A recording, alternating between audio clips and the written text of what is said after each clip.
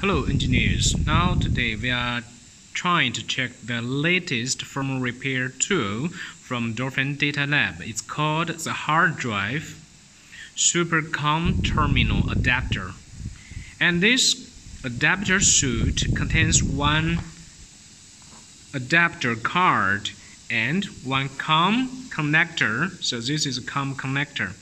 It is one all-in-one COM connector, including the Seagate, Samsung, Toshiba, and even on the other side, we can see uh, Western Digital and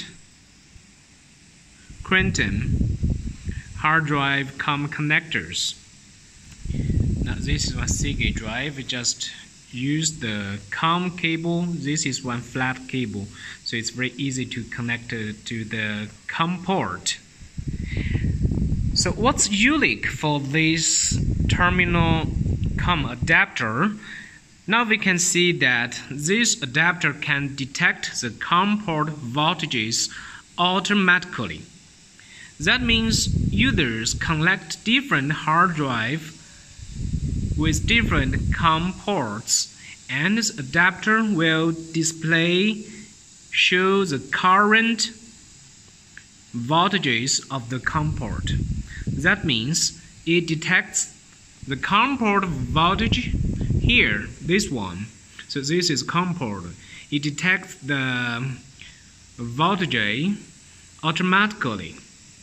So when we tried to read the data from the PCB or from the platters, we need one very stable and correct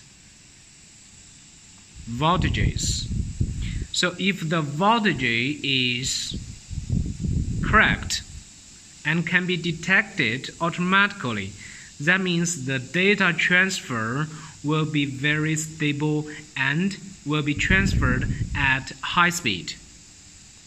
Now on the other side, we can see this is one USB 2 cable and we connect the USB 2 cable to the PC. So this side connect to PC and this side connect to the hard drive and this is adapter is used to detect the voltage automatically. So there are three parts okay so the COM connector and the adapter card and the USB 2 cable so this card is very powerful and helpful when users try to read the ROM, read the data from the hard drives at high speed.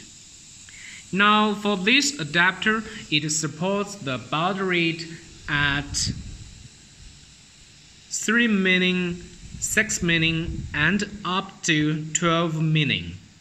So it can reach the highest baud rate data transfer speed. Now let's go to the PC. Here we just need to connect the adapters and then go to the device manager and install the drivers. Now here is the drivers. After users buy this COM adapter suite, so users will get this driver installation file and simply users double click to it to finish the driver installation. After the driver installation of the COM adapter suite, so users will find within the device manager here under COM so the ports, the users can find COM port number here, the COM12. So this is a super COM port. So users can use this COM port to transfer the data from the hard drive at high speed, up to 12 meaning. Anyway, the transfer speed will totally depend on the support speed of the hard drive itself. Not all drives can reach the speed of the 12 meaning, or 6 meaning, or 3 meaning. This depends on the hard drives themselves. Now we can see we can enter DFL Seagate firmware repair tool and we can choose the COM port here. Now the first COM port, this is a super COM port. Users just need to select this COM port and open the COM port. Now users can try to use Ctrl Z and enter the F3T prompt and then users can input any commands to start repairing the hard drives.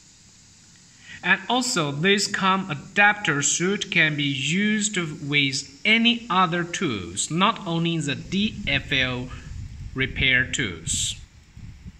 So it's very helpful, new with new technology and automatic detection technology for the voltages.